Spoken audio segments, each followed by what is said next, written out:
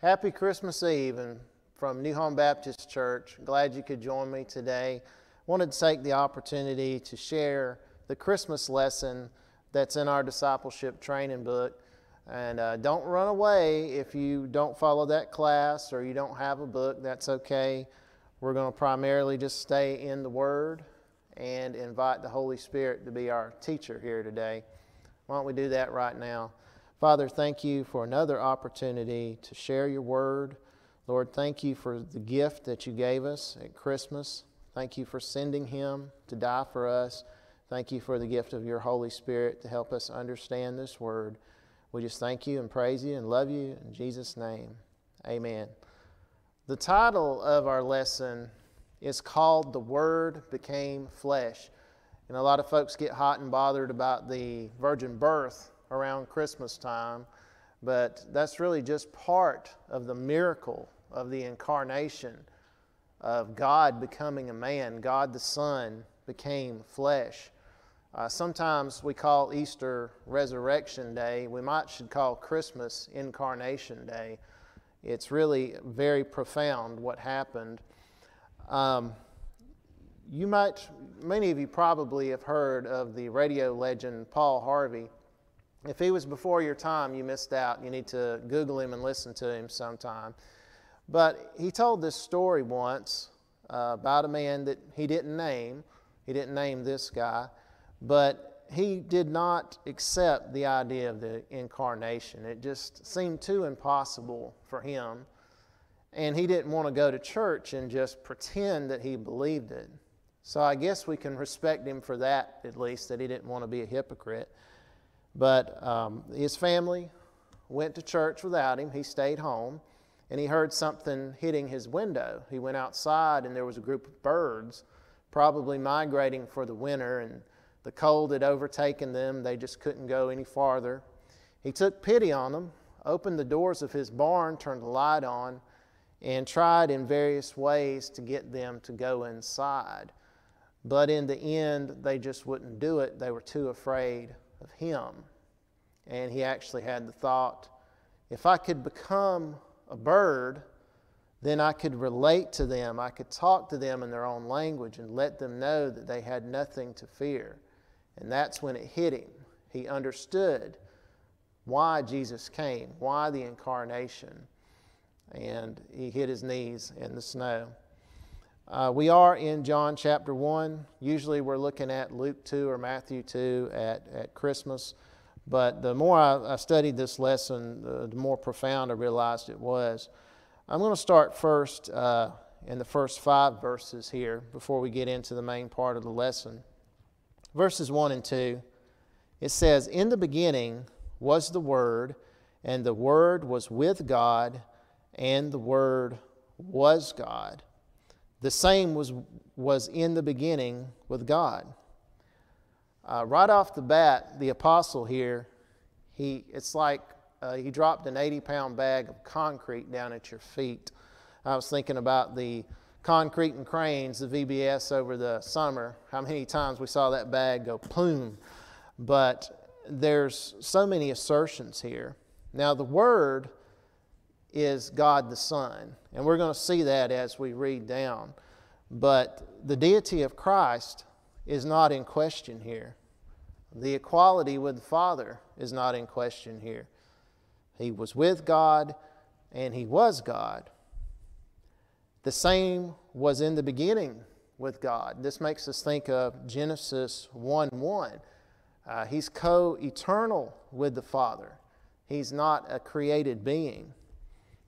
Verse 3 All things were made by him, and without him was not anything made that was made. So, another 80 pound bag of concrete, theological concrete. Jesus, God the Son, is the creator as much as God the Father.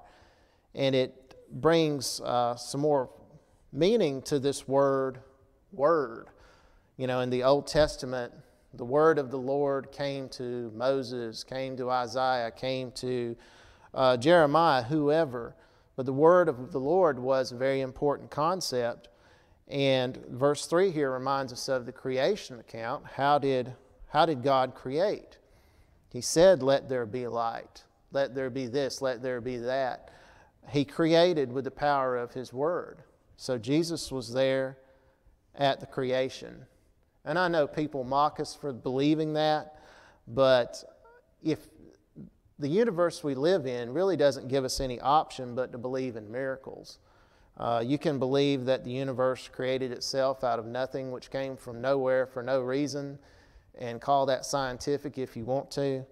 But uh, we believe in a miracle with a miracle worker. You know, naturalism proposes a miracle with no miracle worker. Uh, verses 4 and 5 In him was life, and, that, and the life was the light of men. And the light shineth in the darkness, and the darkness comprehended it not different translations uh, translate that different ways, but um, I remember John 3:19. We talked about it last Sunday night, and I think Cliff even said it Sunday morning. And this is the condemnation that light is come into the world, and men love darkness rather than light because their deeds were evil. Now, the first point is the word came to give life to all who believe verses 10 through 13. He was in the world, and the world was made by him, and the world knew him not. So, this is a creator stepping into his own creation.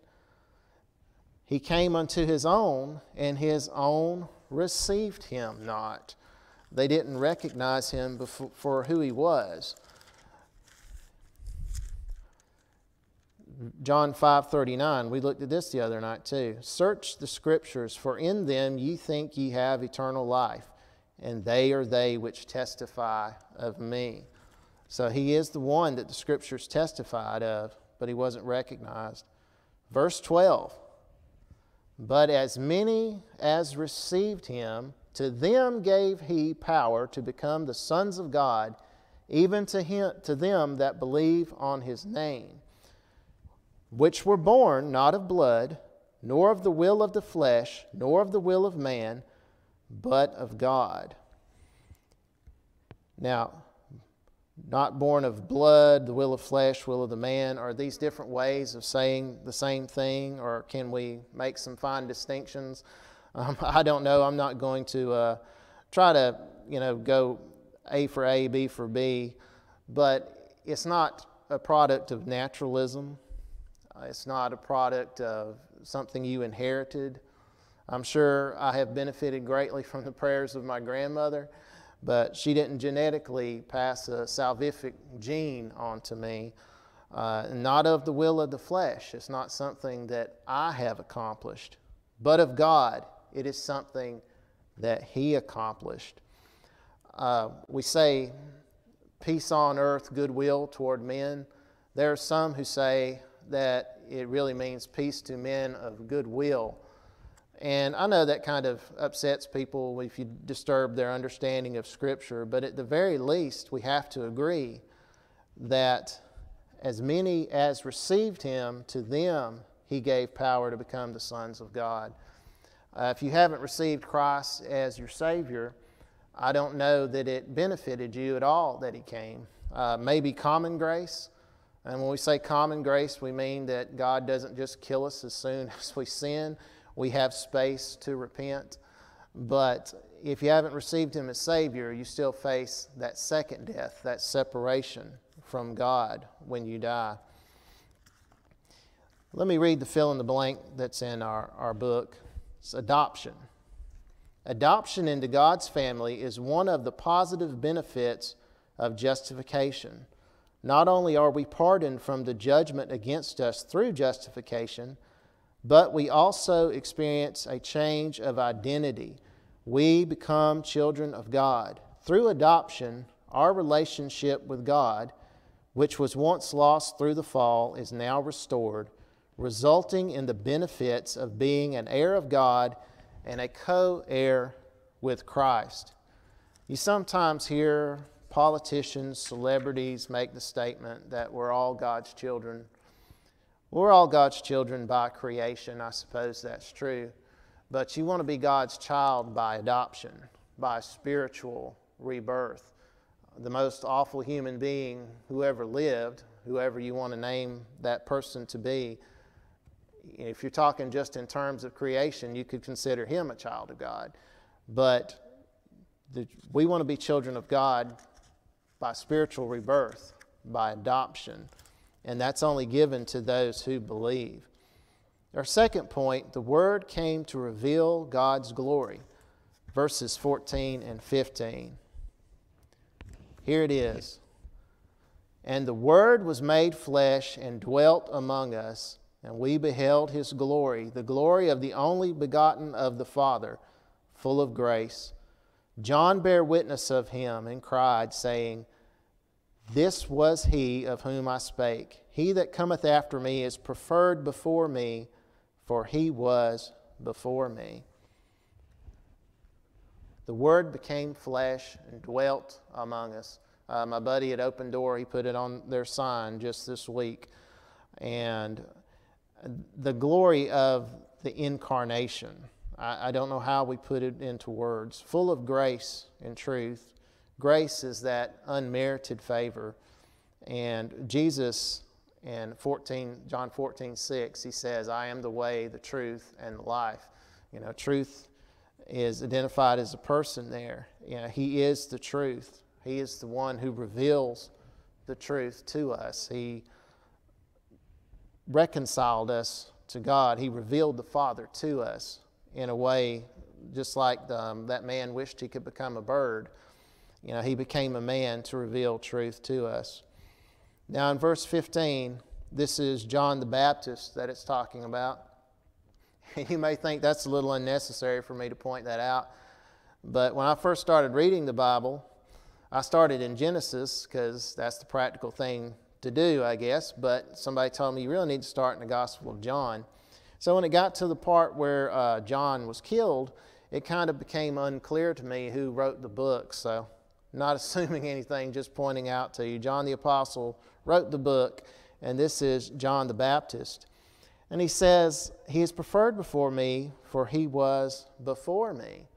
If you remember in Luke 2, when Gabriel appeared to Mary, he said, Elizabeth, your cousin, is, is in her sixth month. She's also with child and is in her sixth month.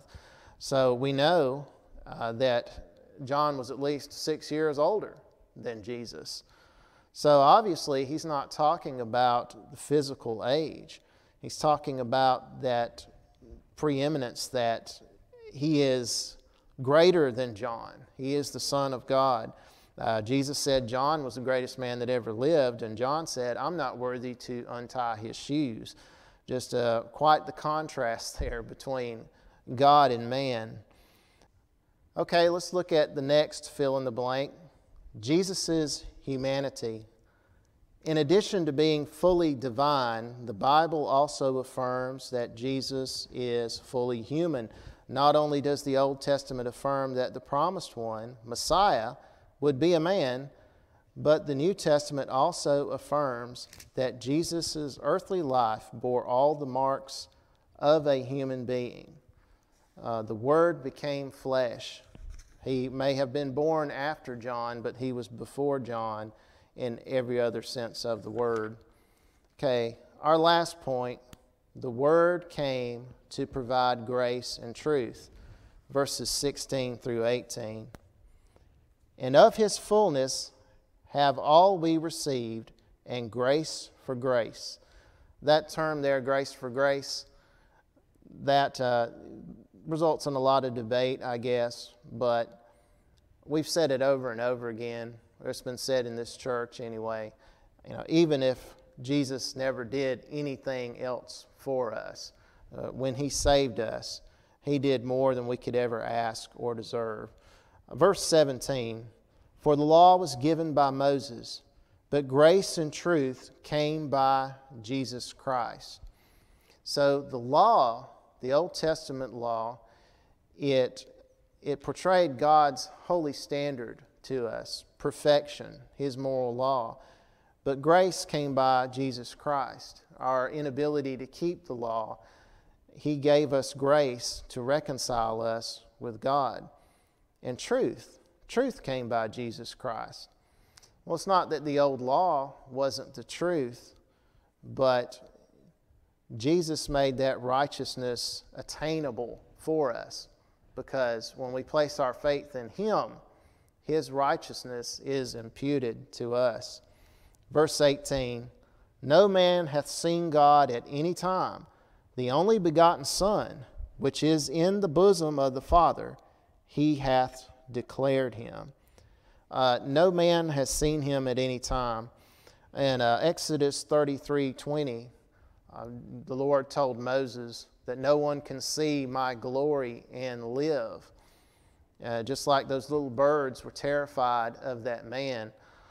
You know, if he could have become a bird, then he could have revealed himself to them in a different way, that we could see the Father. I think, I can't remember if it was Thomas or who said, Show us the Father. And Jesus said, If you've seen me, you've seen the Father. The only begotten Son, which is in the bosom of the Father. The translation in our workbook says, the one and only Son who is Himself God. Now, I don't have a problem with that, but it may be more of an interpretation than, than translation.